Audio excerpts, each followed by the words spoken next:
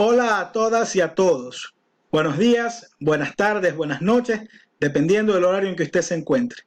Le saluda en esta ocasión Arnaldo Serrano, miembro del equipo de docentes tutores de la asignatura Realidad Nacional y Ambiental, esta vez con el tema de modelo neoliberal y modelo de las instituciones actuales, esperando que este microvideo sea de su total agrado. Por cierto, estos temas los pueden encontrar en el apartado 1.4 y 1.5 del texto Realidad Nacional. Mucho se habla del modelo neoliberal y comienzan los debates. Los neoliberales contra los socialistas, socialistas del siglo XXI, etcétera, etcétera, etcétera. ¿Qué es modelo neoliberal? Como el término lo indica, nuevo liberalismo. Es la corriente económica y política capitalista que apoya una amplia liberalización de la economía, el libre comercio en general y una drástica reducción del gasto público y de la intervención del Estado en la economía en favor del sector privado, que pasaría a desempeñar las competencias tradicionalmente asumidas por el Estado. El neoliberalismo mm, realmente data de los años 30, pero comienza a hacerse muy famoso a partir de los años 80, y alguien importante para ello fue la persona que vemos en la foto, el general Augusto Pinochet, que en la dictadura chilena, en los años 80, impulsó este tipo de medidas económicas que fueron realmente impulsadas y monitoreadas por los economistas de la neoliberal Escuela de Chicago, ¿no? Entonces, como estas medidas económicas fueron un tanto exitosas, el término comenzó a afianzarse. Con el liberalismo, el neoliberalismo, perdón, se desterró, mejor dicho, se dejó de lado el liberalismo moderado. ¿sí? Se adoptaron posturas más radicales que incluían la defensa ultranza del laissez-faire y el capitalismo general. El laissez-faire en español significa dejar correr, dejar pasar, lo que la criolla significaría en el ámbito del neoliberalismo, no importa, no te preocupes, si tú trabajas, si tú produces dinero, nosotros como Estado no tiene por qué molestarte, te dejamos correr, te dejamos pasar. Se consolidaban entonces también en aquella época sendos modelos privatizadores, como el que vemos en pantalla, pues Ronald Reagan en Estados Unidos y en Reino Unido, Margaret Thatcher, la dama de hierro. En aquellos días, en Ecuador, ¿sí? Nosotros estábamos recién retornando a la democracia, algo que fue un hito importante, significativo pero trajo una carga muy pesada para el presidente entrante de aquella época, Jaime Roldós, que es quien vemos en pantalla. Sí, pues porque el régimen militar, que era el régimen anterior, para cumplir su programa de gobierno, y como ellos habían tenido un auge petrolero muy importante, pero después de pocos años los precios disminuyeron, fueron a la baja, entonces tuvo que recurrir a un endeudamiento externo agresivo y esa herencia le tocó coger a Jaime Roldós. Pero este no, no se atemoriza de aquello, sino más bien adopta un estilo de gobierno de economía social de mercado, ¿no? Recordemos, se aumentó el sueldo del magisterio y el Estado dio muchas prebendas a la población que estaba un poco oprimida. Pero con su muerte aparecería en escena Osvaldo Hurtado, quien asume el poder, era el vicepresidente en aquella época, asumió la presidencia. Estalla la crisis de la deuda, mm, tiene problemas con los bajos precios del petróleo, Aparte tuvo un fenómeno del niño atroz en el año 82, entonces comienzan los recortes de presupuesto, vienen los programas de estabilización, se controla el gasto público, la inflación, las importaciones, se eliminan subsidios, hay aumentos de tarifa en los servicios públicos y la polémica sucretización de la deuda en el cual el Estado asumió la deuda externa de las empresas privadas. Año 1984, toma el poder la persona que vemos en pantalla, León Febres Cordero. Hubo un neoliberalismo, esta vez abierto. Para viabilizar su gobierno lo hizo a través de decretos ejecutivos y leyes de emergencia. Postuló la ley de minería, postuló la ley de vivienda y la ley de hidrocarburos que aperturó a la inversión extranjera, se ampliaron los oleoductos y el Estado forma eh, toma propiedad de la refinería Esmeraldas. Continúa el gobierno de Rodrigo Borja Ceballos, en el cual no se diseñaron mayores políticas de corte regional y de desarrollo local, sino que continuaron las medidas neoliberales y políticas de ajuste, pero en el año 1992, con la persona que vemos en pantalla de presidente, el arquitecto Sicto Durán Ballén, Ecuador entra a un neoliberalismo radical.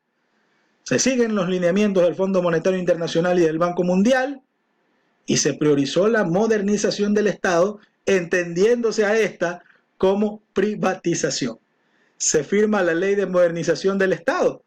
Y miren lo que esta ley pretendía, ¿no? Todos los servicios públicos, agua, riego, saneamiento, eh, luz, teléfono, vialidad, puertos, aeropuertos, ferroviarias, hasta el correo, ¿no? Todo estuviera sujeto a privatización. Se fomentaron, sí, las inversiones provenientes del exterior y la liberación del comercio exterior. Algo también un poco incómodo es que en la parte social este enfoque neoliberal pretendía eliminar la gratuidad de la educación básica y los servicios de salud pública, aunque esto finalmente no prosperó algo polémico, la promulgación de la Ley General de Instituciones del Sistema Financiero que básicamente desregulaba la gestión de los bancos, ¿no? Y se les perdía un poco el control de parte del Estado. Entonces estos bancos con un régimen de indisciplina estallarían en pocos años después en lo que es la crisis del feriado bancario, ¿no? Con el fin del gobierno de Sixto Durán Ballén entramos al periodo de 1996 hasta el 2007, tiempo en el cual se eligieron a través de sufragio popular tres presidentes, en este orden Abdalá Bucarán, Yamil Maguad y Lucio Gutiérrez, con algo en común. Nunca terminaron sus periodos presidenciales, por eso hablamos de la crisis, ¿no? Crisis política. Asumieron sus vicepresidentes a excepción de Abdalá, por un ejercicio elemental de alternancia de poder le correspondía asumir la presidencia a su vicepresidenta Rosalía Arteaga, pero el Congreso de aquella época lo impidió y el presidente del Congreso tomó el poder y se erigió como presidente de la República. Hablamos de Fabián Alarcón. Año 1999, gobierno de Yamir Magogwit, quien vemos en pantalla. Estalla la crisis económica. ¿Por qué estalla la crisis económica? Porque hay eh, caídas constantes del PIB, una inflación por los cielos y una devaluación incontrolable del sucre, ¿no? Entonces, para cortar de raíz todos esos problemas, Yamil decide dolarizar, ¿sí? Pero esta fue una dolarización muy dolorosa, porque se congeló el, el valor, la tarifa del sucre se congeló en 25 mil por un dólar, ¿no? El tipo de cambio más bien, 25 mil sucres por un dólar. Esto es algo atroz, algo muy fuerte. Estamos hablando de que el sucre no valía nada. O un centavo de dólar, 250 sucres. Un dólar, 25 mil sucres. ¿Sí? También se dio por motivos de la crisis la emigración masiva, este fenómeno que es normal en los países, pero que en aquel año se dio un movimiento que jamás se había visto en el país. Para inicios del siglo XXI, estamos hablando de los años 2000, los ecuatorianos teníamos que convivir al principio de los años 2000 con las dos monedas. Entonces estábamos aprendiendo a manejar el dólar. Nos hacíamos problemas con los sueldos porque nos decían, nos decían, quiero 25 centavos de pan y de vuelto nos daban mil sucres. Entonces Sí, era un poco confuso y complicado, pero bueno, finalmente solo nos quedamos con el dólar. Otra cosa importante, no, hubo recuperación económica, sí, pero no fue una varita mágica. Fue un poco lenta, porque recordemos que el país realmente estaba devastado. Algo que también sucedió es la experimentación de nuevos núcleos familiares, ya que papá y mamá se habían ido a trabajar al exterior y los niños que quedaron en el país pues se criaron con abuelos, se criaron con tíos. También hubo altas remesas de migrantes por lo que el presupuesto del Estado aumentó. Para mediados de los años 2000, el dólar se fortalece y comienza a consolidarse. Y eso va de la mano con los precios internacionales del petróleo que comienzan a mejorar. Aparte, el continuo envío de remesas, ¿no? Fue en este caso una fórmula virtuosa para la estabilización del dólar. Y como estábamos en corte neoliberal se insinúa con fuerza la firma de un tratado de libre comercio con Estados Unidos, aunque este finalmente no prosperó. Año 2006. Auge en América Latina de gobiernos con discurso antineoliberal que se denominan a sí mismos progresistas. Venezuela, Hugo Chávez. Brasil, Lula da Silva. Paraguay, Fernando Lugo.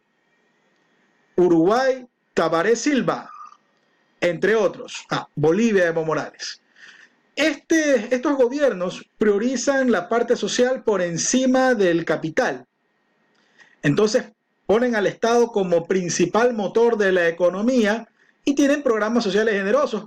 Claro, como estos países, incluyendo el nuestro, pues exportamos materia prima por excelencia y los precios estaban en lo alto, no había mayores inconvenientes en tanta generosidad. En aquel año, un joven ex ministro de Economía ganaría las elecciones del 2006 con un discurso antineoliberal y sería nuestro presidente por una década. En el año 2007 se instaura el modelo conocido como Revolución Ciudadana con el eslogan La patria ya es de todos. ¿Sí?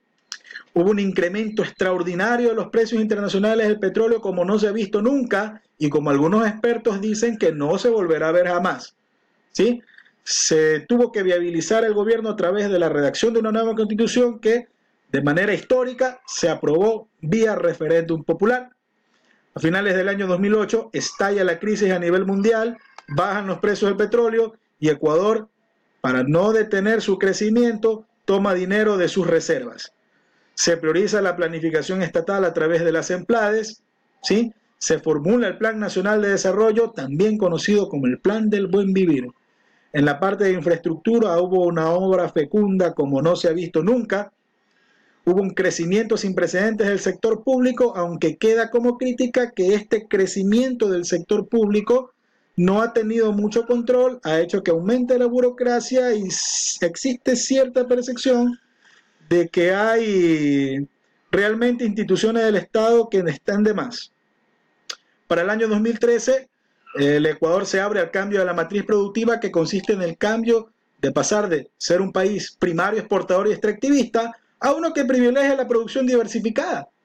Bueno, en el corto y mediano plazo no se han visto todavía resultados y lo que se percibe es una inconsistencia entre el discurso y la realidad, puesto que lo que realmente se ha visto es la expansión petrolera y la minería a gran escala en lugar de producción diversificada. Por lo tanto, se habla de una reprimarización exportadora.